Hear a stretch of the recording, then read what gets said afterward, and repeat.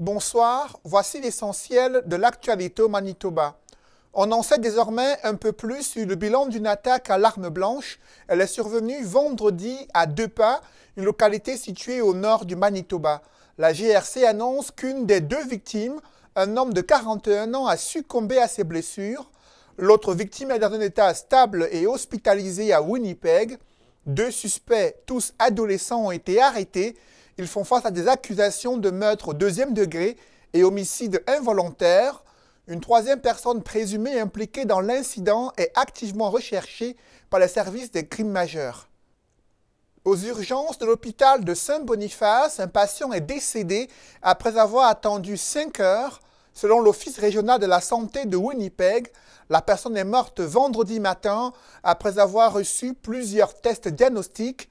Une enquête est ouverte. Ce décès survient au moment où le temps d'attente dans certaines urgences de la ville a dépassé les 32 heures la semaine dernière. Le gouvernement a annoncé vendredi le recrutement d'un nouveau médecin pour la clinique des urgences mineures afin de réduire les délais d'attente au Centre des sciences de la santé.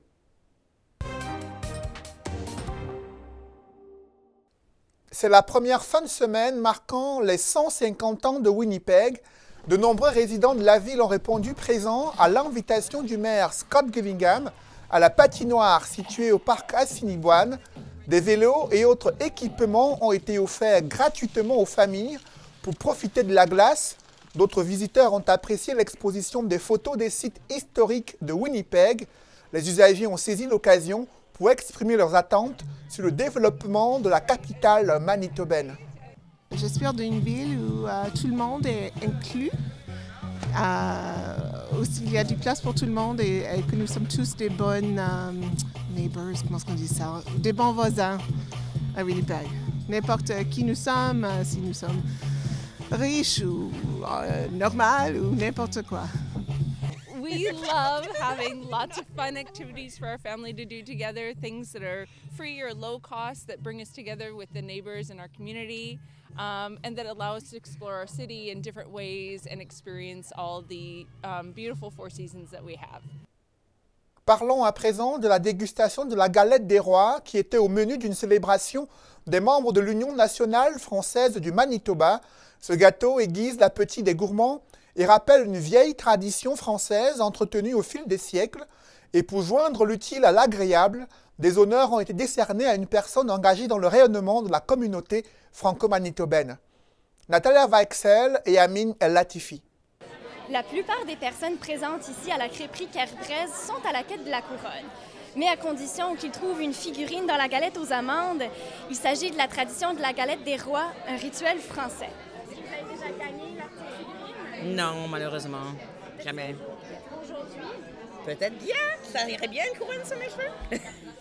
La galette des rois est une tradition chrétienne qui remonte au Moyen Âge et sa popularité a traversé les frontières.